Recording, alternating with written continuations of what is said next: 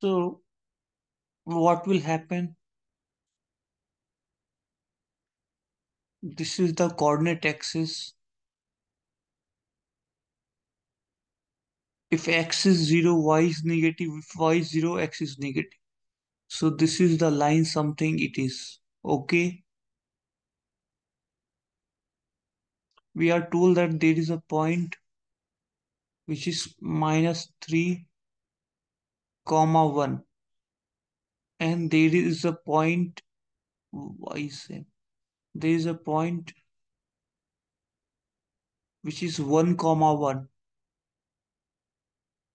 so we can see that this line is not perpendicular. Hence there will be a something perpendicular coming out this way. So this the the structure of the rectangle will come out to be this. So what will happen? The the slope of this line is minus a by b. So the slope slope of this line will come out to be 7 by 4 m1 into m2 equals to minus 1 so now we can, can we write the equation of this line which is passing through 1 comma 1 so equation of line will come out to be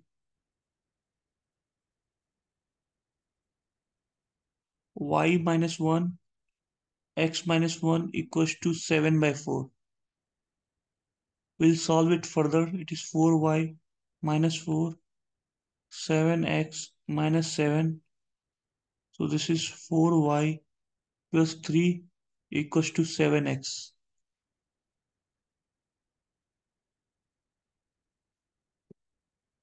Now, what will happen is that we can write the equation of this line with slope 7 by 4 passing through minus 3 comma 1. Minus 3 comma 1 is lying on this line. So equation of line will come out to be y minus 1 x plus 3 equals to 7 by 4.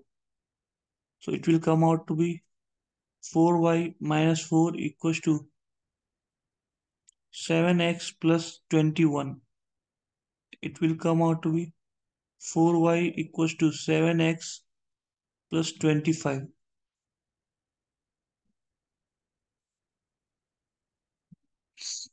Now we got the equation of this line, this line, and this line already given. Now equation of this line.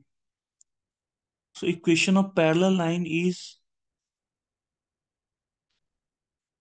4x plus 7y plus c equals to 0, which is passing through 1 comma 1. So c will come out to be minus 11. Hence the equation of line will come out to be 4x plus 7y equals to 11. So we got the equation of all the sides.